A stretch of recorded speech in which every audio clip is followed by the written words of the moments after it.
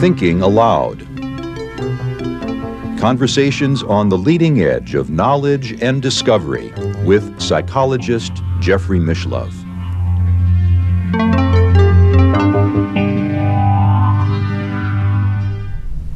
Hello and welcome. I'm Jeffrey Mishlove. Today we are going to explore psychic healing research. And with me is my dear old friend, Dr. Elizabeth Rauscher, a pioneer physicist, author of several books, including Orbiting the Moons of Pluto Complex Solutions to the Einstein, Maxwell, Schrodinger, and Dirac Equations, and also The Holographic Anthropic Multiverse. Dr. Rauscher was featured in a book by MIT professor David Kaiser called How the Hippies Saved Physics Science, Counterculture, and the Quantum Revival. Welcome, Elizabeth. Thank you very much, Jeff. It's wonderful to be back with you and to explore uh, where we're going now with what we did earlier. And it's just great to be here. It's a pleasure to be with you. You and I go back a long time. I remember the time I first met you when you walked into the Institute for the Study of Consciousness where I was living in 1973 in Berkeley. Oh, yes. uh-huh. And since then, you've done an enormous amount of research in many different disciplines. You've published, I should say, about 250 scientific papers, or should I say more than 250? More than, because I yeah. have to keep track of them all. yeah. and what we're going to look at now is some of the classic studies that you have done with Dr. Beverly Rubik in the area of psychic healing, working with uh, a well-known healer of that era, uh, Olga Worrall.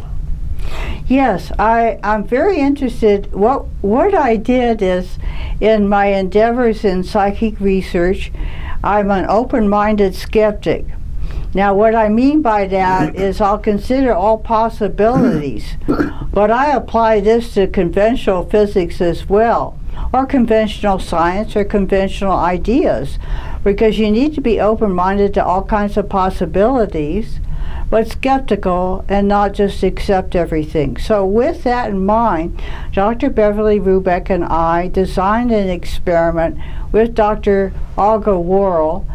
To She's not a medical doctor, we should no, say. she had an honorary degree. Of theology, as uh, I, I think recall. it was a theology, but yes. she's a very well-known healer. Very well-known Russian aristocrat and so what it was that I had the opportunity through John F. Kennedy University, then in Orinda, California, to work with Beverly, uh, uh, to work with Olga. So immediately I thought, well, all the mechanical PK kind of devices that she might affect, she's not into that. She's into biology. Mm-hmm. She's into healing people. Yeah. So uh, Beverly Rubik was part of my fundamental physics group that's in David Kaiser's book. So I asked her whether she would participate with me, and we had a little grant. And so then we designed this experiment to look at the motility or movement of bacteria and growth rate. And so she chose Salmonella typhimurium, which is a mild pathogen and the Escherichia coli because when you grow the bugs, the Escherichia coli stinks after a while. so the salmonella may give you gangrene or something, but it, it, won't, it won't stink. And so um, I had not met Olga at that time, and mm -hmm. she mm-hmm. came out she was based in Baltimore, as I yeah, recall. Yeah, she, she and her husband, her late, uh, uh, she's deceased now. She and her husband had a wonderful place in Baltimore, which I later visited. A healing church. A healing church. Mm -hmm. And there were all kinds of stories. Like she would have people come up and she'd do a laying on the hands healing. And she'd do it for about two to four minutes. And so she had people come up and she had this one man uh, that had a tumor on his face, a really big tumor, and the statement was, even by MDs, that she they just saw the tumor disappear, sink in, disappear, and the cancer was cured. And so there are all these kind of stories. Well, and she was very open to working with scientists. She understood the scientific method. Mm-hmm. And I'll tell you more about that because it's fun. But what she what she what I felt was instead of working with humans, we were going to do, you know, you introduce a, a controlled wound and, oh, you know, it's just too complicated. To look at a simple bacteria system mm-hmm. that's quite interesting, and what salmonella and other bacteria do is it's called chemotaxis. They move towards food and away from uh, shit. They go. they basically Away are environmentally are conscious. They're environmentally conscious. Mm-hmm. They go towards the good stuff and away from the bad. Yeah. Anyway, so she she came out, and we're set up at UC Berkeley Life Science Building to do the experiments. Well, of course, she comes in with her pillbox hat and her mink coat, mm-hmm. and.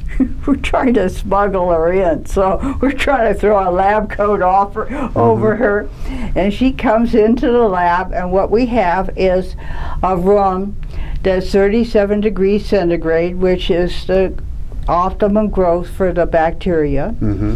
and then a control uh, system down the hall that she won't interact with. And she said, Well, I hope you got controls, dearie because mm. that's the way she talked. Mm-hmm. And she understood to not affect the controls, to infect what was she was treating. Mm-hmm.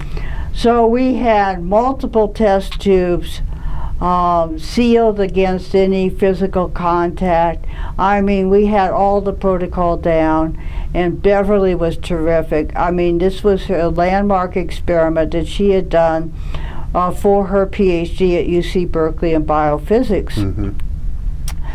And so um, it's part, the first psychic experiment she had done, but she caught on right away quick, mm-hmm. you know. And it's a lot of things. It's about making a positive environment. It's true of any experiment. well, there, there's an irony in this particular experiment in that you were asking, if I understand it correctly, Olga Worrall essentially to send healing energy to these bacteria, which are, as you say, mild pathogens. I asked her about that, mm-hmm. and she said uh, we showed her in a dark field microscope, and they look like little light dots moving around. Uh-huh. And she said, "Oh, they're cute little critters." Mm-hmm. And so I said, I explained to her it's a mild pathogen. So she says, I heal the highest form of life I'm near. And so they're the highest form of life I'm dealing with. So I will only heal, mm-hmm. which is interesting because I'll tell you about working with another healer mm-hmm. on the same experiment, a similar type experiment. So what we introduce in uh, motility, which is the movement, and you can see a movement right. like little dots. The more they move, then they you know, more They're, alive and happy the more they happy are. they are. Basically, yeah. it's about being happy. And really, the question is is there an optimal state of health for any organism? Mm-hmm. Is there a state in which we're normalized, we're reasonably in good health? Our ATP metabolism and everything's working right. And I think there is. I mean, this is a question that Beverly and I asked. So, mm-hmm. uh, in the motility experiments, you uh, would put introduce chloramphenicol, no, um, um, tetra, we use tetracycline, chloramphenicol, and phenol mm-hmm. as antibiotics. So mm-hmm. we made them ill. Yes. So we show her the well ones, mm-hmm. and then we add phenol. Now they will remain motile for about 12 minutes until the slide uh, on, in the microscope die, dries mm-hmm. out. And so they're little light dots that move around, and they get fewer and fewer as time goes on. And you have a precise, I guess it's a spectrographic analysis oh, yes, to yes. determine exactly uh, how uh, active a xenon light source mm-hmm. and a mm-hmm. calibration, so it counts the number of moving dots. And it's like looking at particle tracks, really very similar. Mm-hmm. How long they are, how many little dots there are, and so forth. So she, um, so then we add the um, um, antibiotic, and what happens is they die in about one or two minutes. So there's no motility in the Mm-hmm. Control. Mhm.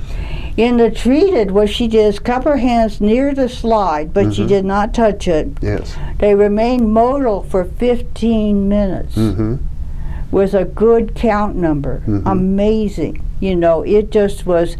And she says, I hope you keep these slides forever. Well, the thing is, of course, they're useless after 15 minutes because it dries out. Mm-hmm. So Beverly put them aside but made her think that we were going to keep them. hmm And um, But of course, you kept the record of we kept the record. So Mhm. we had all that recorded. Mhm. And uh, it's very interesting because motility is fast moving, growth is slower. So you're measuring like the rate of enhanced health as Mhm. well as the enhancement of the health. Mhm. So you do different doses of the antibiotics. So in the growth studies, we had sealed test tubes, three in the group. They were all coded with the controls coded and the uh, treated coded, and it was really tricky because Beverly and I had a grad student code them, so we wouldn't know when we analyzed the data later whether it was a treated or control. In other words, uh, what we call a double-blind a experiment. double-blind experiment. Mhm. So motility uh, in the growth studies, you do about 24. You can do up to 48 hours of growth, which Mhm. means every hour you have to go to the lab and measure the growth in a spectrophotometer. Now, the first one we used was a nice standard Beckman, which I've used before.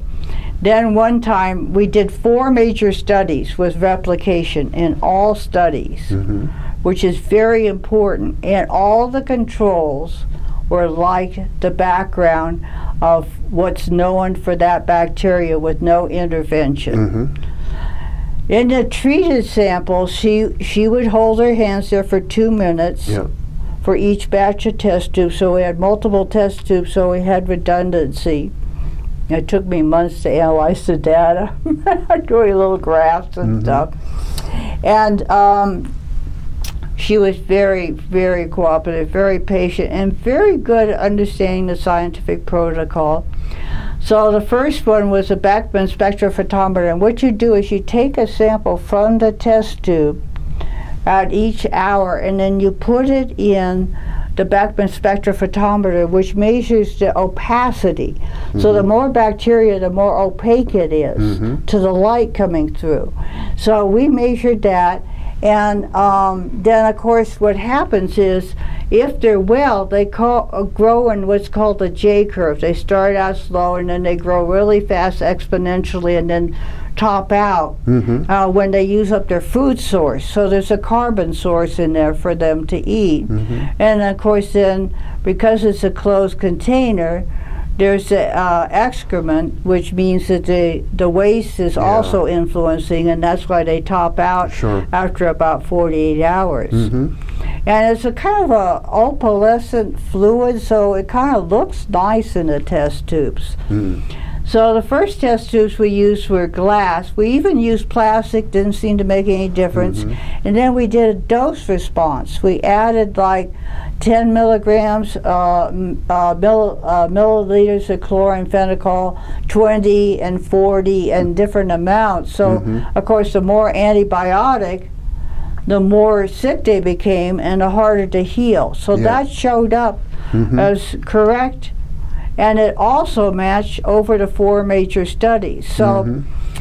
Now, let me just backtrack a little because I understand that somebody might say, since she held her hands near the test tube, I got an answer for that. there was a, a physical effect, heat or oh, here. electromagnetic Oh, energy. was- she had a hidden magnet in her tooth and stuff like Yeah. that. Okay, what we did is take grad students Mhm. that were blind to the meaning of the experiment Mhm. and ran the whole experiment with grad students cupping their hand. We figured they probably weren't healers. Yeah. You never know. but you never know. Yeah. But we had them cup their hands and then read the whole experiment with someone naive to the purpose of the experiment Mhm. to not introduce a healing effect, and they were just exactly like the controls. Mhm. And there were some interesting predictions, like she said, there'll be extra growth in test tube number 20, dearie. Mhm. Because that's the way she talked. Yeah. We took the pill, bo- bo- pill uh, bo- box hat off, uh, Mm-hmm. a few things like that. But anyway, the first one was done at Life Science, and then I did a next one. We did it at the Lawrence Berkeley Laboratory, and we had a spectrophotometer that was worth about a half million. Mhm. And the whole side of a room would be covered with this instrumentation. And all it came down to is the little cuvette holders weren't as good as in the little Spectrum spe- Beckman, which is about like that. But uh, so the the error bars were a little bit bigger, but Mhm. every replication was very well replicated with amazing And effects. if I recall correctly, this uh, experiment you ran it over a few years, four years. We Mhm. did four major studies Mhm. over four years. like a year apart each. yes, Mhm. partly because it was raising the funds. Yeah. And the Holmes Foundation of Los Angeles was one of our funders, hmm which I give them credit for. A very nice group. Related to the United Church of Religious Science. Yes. That's what it was known as then. I think they're now called the uh, Centers for Spiritual Fellowship, or uh, oh, I think so. Yes. something along But but they lines. were they were doctors Mhm. and uh, other professionals, so it was a very diverse group. At, Mhm. You know, and then of course we reported our findings, but uh, we did two more studies. One I had arranged to part of UC Berkeley at the Richmond Field Station, Mhm. and then this is interesting because I mean Olga was great. Mhm. The only thing we had a problem with is she had to fly first class, which used up about half the grant money. Yeah. But I, I, I analyzed the data, and Beverly did a wonderful job. It was a really good experiment. Well, our viewers should know that this experiment, which is now a couple of decades old, if, uh, it still stands as a classic of uh, research in the field of psychic healing. It, it's so controlled, so, uh, I mean, I think that my design and then working with Beverly was so important. Mhm. Now, other people tried to replicate it. Now, here's what happened. Of course, they had different healers. I mean, Olga Worrall was really quite an extraordinary classic, classic uh, person. You Mhm. know, she was so cooperative. She was so knowledgeable. She was a really fantastic healer and a very lovely person. And other researchers have worked with her and also reported quite astounding effects, as I recall. Very much so. She did some work with uh, like a cloud chamber Yes. and uh, made it look like more particles were present.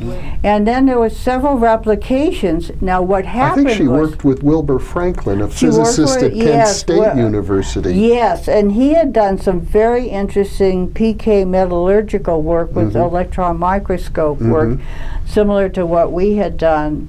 And Well, uh, we could talk for a long time but, about but let me some of this other research. what happened with some of the replications. Yes. They didn't instruct the healer that there were controls, so the Mhm. controls were anomalously affected. Uh-huh. So the statistical difference wasn't as great, Mhm. but the controls didn't fit the baseline. So they were Mhm. all healed because it was like the target is to heal this, hmm but anything like it looks similar to the healer. So psychically, he could go down the hall 50 feet and Mhm. heal the controls as well as the treated. Well, you know, I, I, I know one uh, parapsychologist has criticized a lot of healing research, saying just because you have a difference between your experimental group and your control group, how do you know that it was the experimental group that was healed and not the control group that was harmed? Well, the control group matched all the Mhm. previous many, many years Beverly, in this case, had been Yeah, doing Beverly these was- studies for yes, years yes, and, and had had a, a good baseline, and Mhm. also her research advisor had done this work for 15, 20 Yeah. years. So actually, it had like um, millions of, of example baselines. So Mm-hmm. Yeah. when the controls ma- met met the criterion of the baseline, Yeah. I don't think there was any So, problem. but you're saying in the replications, In the replications, they didn't distinguish, but you see, even the control knew group didn't match the baseline. In that's the point. yeah.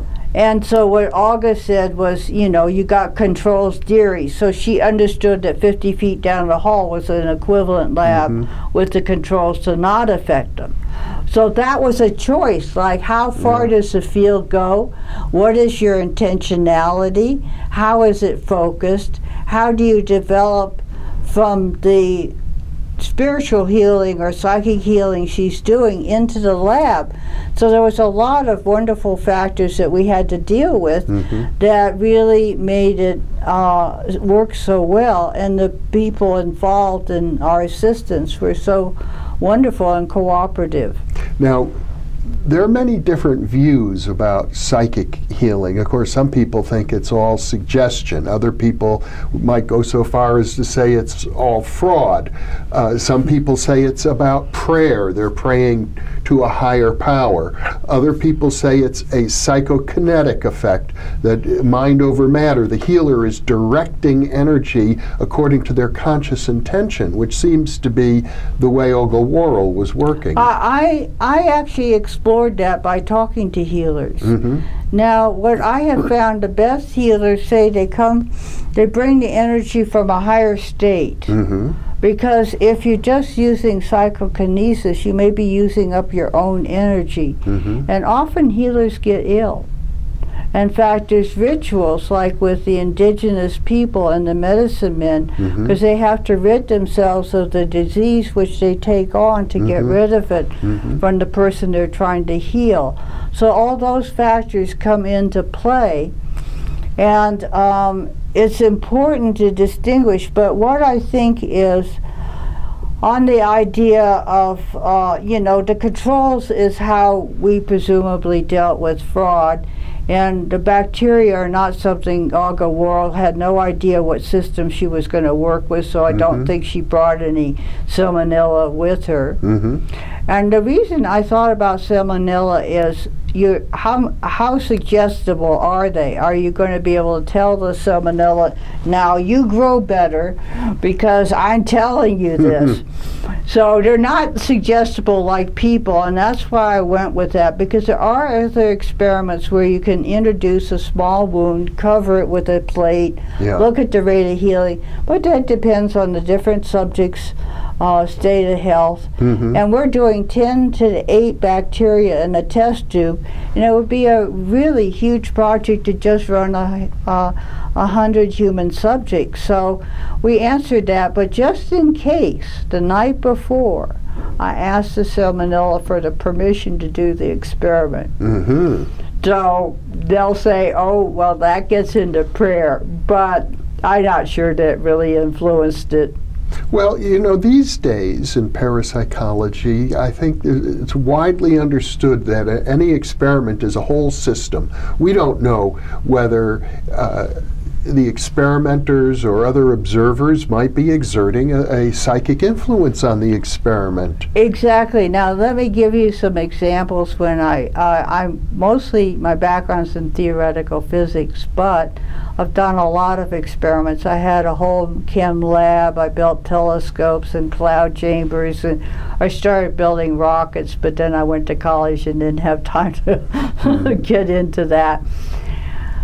But I've worked with a number of groups, both as a theoretical collaboration and experimental. And my idea with working with the accelerator at Lawrence Berkeley National Laboratory, the Bevatron, which no longer exists, is why not PK a particle? So Mhm. you need to choose a particle. So I was going to do a Lee Wicks vacuum state, see if I could get the grad students to PK it, and then we get a bigger grant. Well, it was partially a joke. Yeah. But I did do some experiments with influencing the rate of radioactive decay. hmm And um, some, it's like, I think every experiment has a psychic component. Now, of course, electronics, everything is hardened against psychic uh, influence. Uh, it's linear. So the more nonlinear system is, like a living system, Mhm. the more subject it is to influence by external mind effects. Mhm. And so what I did is I, I did a six-hour experiment, hmm and I'd have them concentrate for 15 minutes, and I have them agree to slow down the rate of radioactive decay. Hmm So they all agreed to that. So the Mhm. effect would be similar. Yes. Then I ran them around the hall so they wouldn't think about it in between and then do another 15 minute session. So I got about a 4% effect. hmm But there is a literature where there is deviation from the rate of radioactive decay and it all bridges between about 2 to 5%. It's very Mhm. interesting Yeah. with different um, different There, ways of there's doing now quite a large literature on, Right, uh, on yes. that sort of phenomenon. It's typically called micropsychokinesis. Right. And I would say in the groups that worked at the Bevatron, there were some groups that just clicked. They really cooperated Mhm. And uh, they worked well together, and others that didn't. And the difference in all factors, like the background noise and so forth, was majorly affected. I see. mean, Mhm. uh, so I'm not sure that you can't do an experiment and completely exclude psi. Uh-huh. Because I asked the students and the professors, I said, I said, what's your purpose in doing this experiment, the, the Bevatron mm-hmm. experiments? And they said, I have no purpose. And I said, no. I don't believe that. I mean, you know, like the grad students, you want a PhD. You, uh, whether you want to prove your girl, prove it to your girlfriend you're smart, or your parents, or whatever, or get a job, or you love physics. There's always a motive, hmm and that's very critical to look at in any of these The experiments. The human uh, element. the human element and all the humans involved in their intentions. Yeah. Well, we have so much to learn about this, but you, Elizabeth Rauscher, have been a very important pioneer in the field. Thank you so much for sharing this half hour with me, and I look forward to future conversations with you. Thank you very much, Jeffrey. I really appreciate it. I enjoy it, I always enjoy talking to you. And thank you for being with us. Thank you.